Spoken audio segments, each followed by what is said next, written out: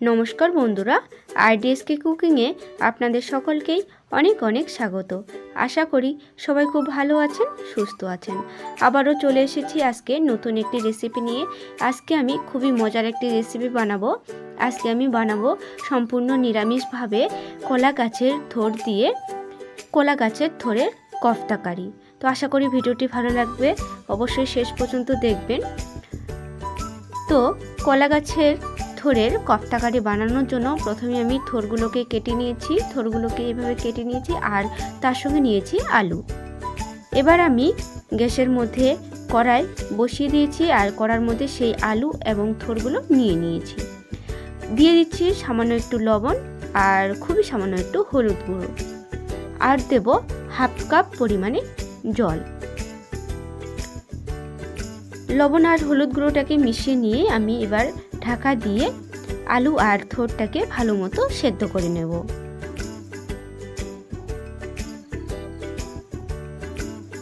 প্রায় দশ থেকে বারো মিনিটের মতো আমি সেদ্ধ করে নিয়েছি। আর দেখুন কি সুন্দরভাবে আলু সেদ্ধ হয়ে গেছে। এবার কড়া থেকে নামিয়ে নেব। নামিয়ে খুব ভালো মতো ঠান্ডা করে নেব।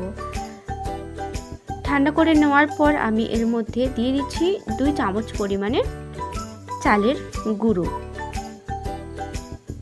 আর দেব শুকনো লঙ্কার গুঁড়ো। ঝালটা অবশ্যই আপনারা আপনাদের পছন্দ মতো দেবেন।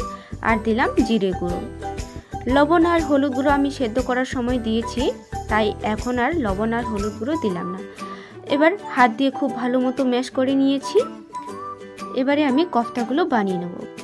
এবারে আমি কফতাগুলোকে বানিয়ে নিচ্ছি, দেখুন। হাতের মধ্যে নিয়ে প্রথমে গোল করে নিচ্ছি তালুতে, তারপর এভাবে আঙ্গুল দিয়ে কফতার আকারে করে নিচ্ছি। আর একই রকমভাবে দেখুন আমি সব কপ্তাগুলোকে তৈরি করে নিয়েছি। এবার চলে যাব পরের স্টেপে একটা কড়ার মধ্যে আমি বেশ কিছুটা পরিমাণে সাদা তেল নিয়ে নিয়েছি। তেল গরম হয়ে গেলে আমি কফতাগুলোকে একে একে ভাজার জন্য তেলের মধ্যে দিয়ে দিচ্ছি।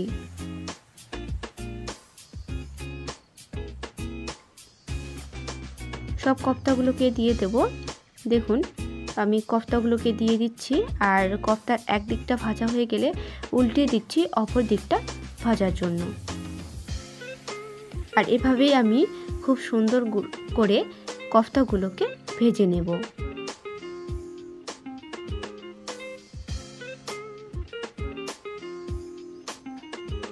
এভাবে উল্টে পাল্টে আমি কফতাগুলোকে ভালো মতো ভেজে নেব।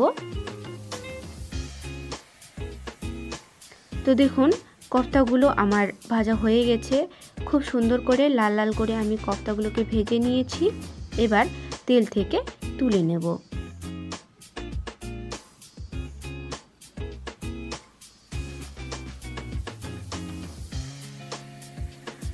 সব কফতাগুলো তুলে নেওয়ার পর আমি কিছুটা পরিমাণে সাদা তেল আমি ঢেলে নিয়েছি কড়ার থেকে, কারণ অতটা বেশি তেল আমার রান্না করতে লাগবে না।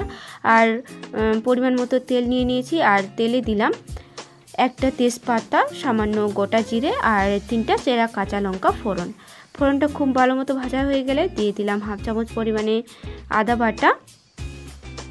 আদার পেস্টটাকে একটু ভেজে নেওয়ার পরে আমি এর মধ্যে দিয়ে দিলাম একটা মাঝারি সাইজের টমেটোর পেস্ট। এবার আদা আর টমেটোটাকে খুব ভালো মতো ভেজে নেব।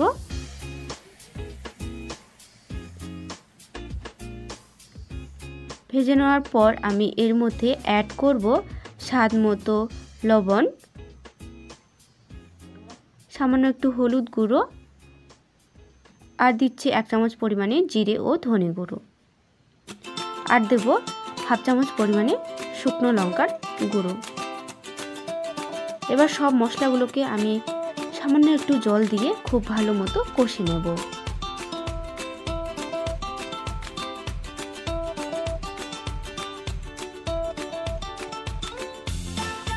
দেখুন, সব মশলাগুলোকে আমি খুব ভালো মতো কষে নিয়েছি।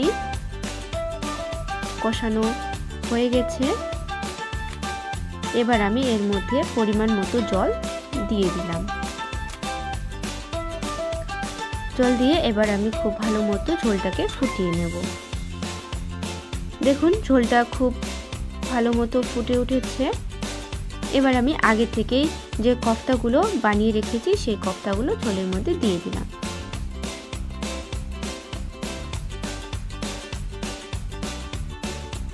কফতাগুলো দেওয়ার পর আমি তিন থেকে চার মিনিট ফুটিয়ে নিলাম।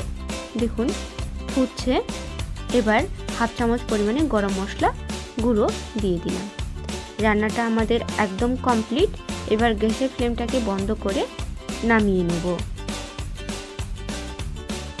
তৈরি হয়ে গেল দারুণ স্বাদের নিরামিষ থোরের কপ্তাকারি। আশা করি আজকের ভিডিওটি আপনাদের ভালো লেগেছে। ভালো লাগলে অবশ্যই লাইক করবেন শেয়ার করবেন আপনার ফ্রেন্ডস এবং ফ্যামিলির সঙ্গে। আর আমার চ্যানেলে নতুন বন্ধু হয়ে থাকলে অবশ্যই চ্যানেলটি সাবস্ক্রাইব করে বেল নোটিফিকেশনটি অন করে দেবেন। আমার এরকম নিত্য নতুন রেসিপি আপনার ফোনে সবার প্রথমে দেখার জন্য। তো দেখা হচ্ছে আবার নতুন কোনো ভিডিও নিয়ে। ততক্ষণ ভালো থাকবেন, সুস্থ থাকবেন। ধন্যবাদ।